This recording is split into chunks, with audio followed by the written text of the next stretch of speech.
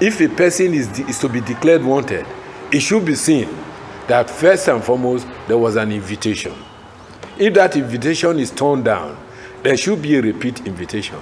But from nowhere, you, you say a professor, a lecturer in the university, Delta State University, and the president general of a kingdom is declared wanted. Now, having said that, we, the Urhobo people, we condemn that declaration in an unmistaken terms. I'm on my way to the police to declare my innocence to the police. I know nothing about this heinous crime. Uh, I'm the traditional ruler. Yes, I'm the traditional ruler of a Burubu kingdom. However, I know nothing about it, and uh, I'm going to the police to turn myself in. The worst of it all is the conduct of the commissioner of police.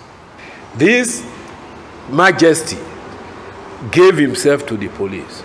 Now, the police, on their own, in trying to run away from their statutory duties, handed over our royal majesty to the army, thereby making the army the complainant, the prosecutor, the judge, and the jury in his own court. But now the uh, community and other communities in the Niger Delta accusing uh, the Nigerian military of high-handedness, making it impossible for people to return to their communities, uh, declaring eight persons wanted, including a traditional ruler, not allowing the community to bury their dead.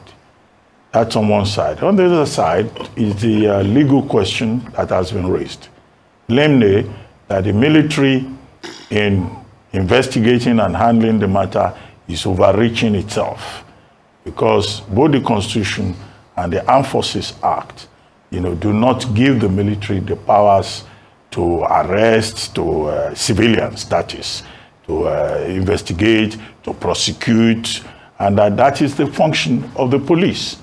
And that even as grievous, as tragic as this situation is, that what uh, the defense headquarters should have done is not to declare people wanted, but to hand over the matter to the police to see to its logical conclusion, since civilians do not fall under martial law.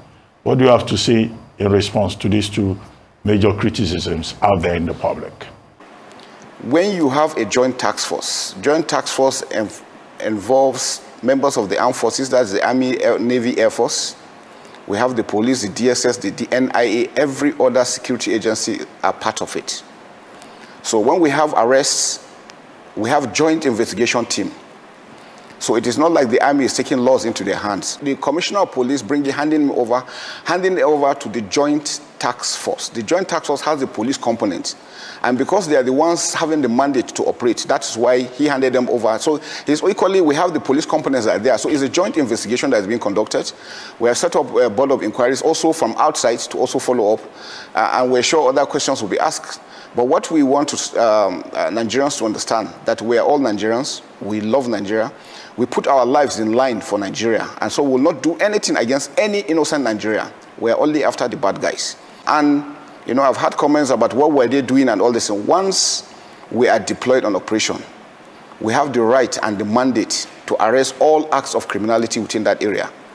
So they were there deployed legally, they were doing a legal operation, and it was because the commanding officer felt the threat was not that high. That was why he went there and felt he could discuss with the individual. He did not go armed. That gallant officer, if he had gone armed, he would erase everybody in that place. But he felt these were people he knew, these are Nigerians that he could talk to. We, our people died. Human beings died in the process. In the process, a whole community, as we are told, was raised down a, raising down a community made up of children, young women, uh, women and then elderly people. The story is that uh, some soldiers uh, were, were killed. I want to say here, yeah, for those who care to know, if they don't know what happened and what led to that event, they should dig deeper. In digging deeper, they will find out what actually happened. Just because they are a group of criminals, cultists, militants that because they make a lot of money from crude oil theft, believe they are above board. And they did this deliberately just because the commanding officer and his team were ensuring that any acts of pipeline vandalization, uh, crude oil theft, illegal refineries were completely eradicated from that region. So that's part of the issues that came up.